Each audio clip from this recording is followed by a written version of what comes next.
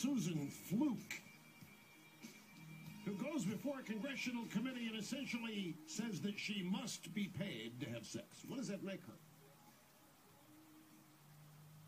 It makes her a slut, right?